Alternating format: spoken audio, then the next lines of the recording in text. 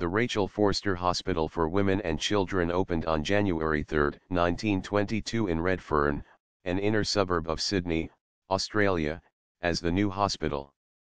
In 1925 the hospital was renamed after Baroness Rachel Forster, the wife of the then Governor-General of Australia, Henry Forster, 1st Baron Forster. Initial goals were to serve as a training hospital for female doctors and to serve women and children.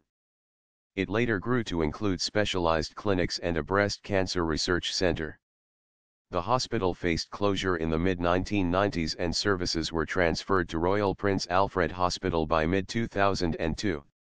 In 2013, City of Sydney Councillor Irene Doutney raised strong concerns about the proposed redevelopment of the site, suggesting that most of the hospital would be demolished apart from the eastern facade and the colonnades at the front entrance.